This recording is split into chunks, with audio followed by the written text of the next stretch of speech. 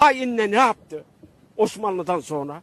Bu emperyalizmin uşakları dinse ne yaptı? Takke yasa eşarp yasa e- yasa ondan sonra şey yasa üniversite